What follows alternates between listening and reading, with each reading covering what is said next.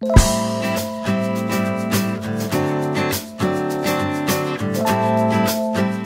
I was really inspired to do a makeup on the go, focusing on fresh face in a rush. So whether you're on the bus, in the train, in Uber, you can adapt this look for yourself. Starting off, I'll be using the White Truffle from Neogen. It's the serum and oil texture, just to give a very dewy and hydrated appearance. It's super fast absorbing as well. This is the White Truffle oil in stick. It helps to seal in everything and I like it as a primer base as it's not too thick or heavy.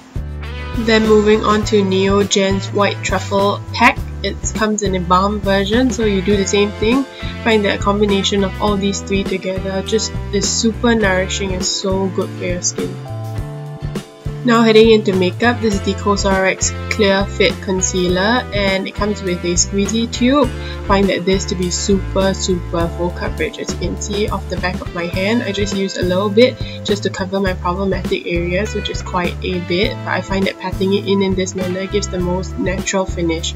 Going in with the Clear Fit Blemish Cushion a super high coverage cushion that has healing properties that can go against any of your cushions that you have currently but this is so full coverage and it's super easy on the go when you have a cushion because you just need to dab and everything will be just sealed into the skin in a very natural manner. I love using cushion puffs all the time. On the go, I find it's essential if you have a brow gel so that you can just push it onto the skin of the brow so it gives you a framed brow with precision and the Benefit Gimme Brow is super good. I'm going in with a cream contour stick from Nudestix and I'm just quickly chiseling out my areas where I need a bit of contour. Quickly with Elizabeth Arden blush. I just pat that into my skin. A lot of this you don't need a brush or a tool, you just need to dab it in with your fingers for a very natural finish.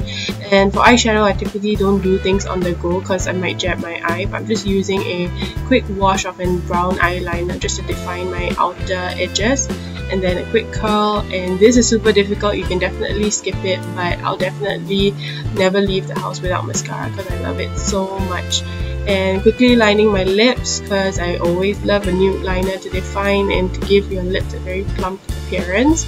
I'm going to be using these two more glossy finishes in terms of lipstick. The L'Oreal Shines, I love these, they're so good, they're so buttery.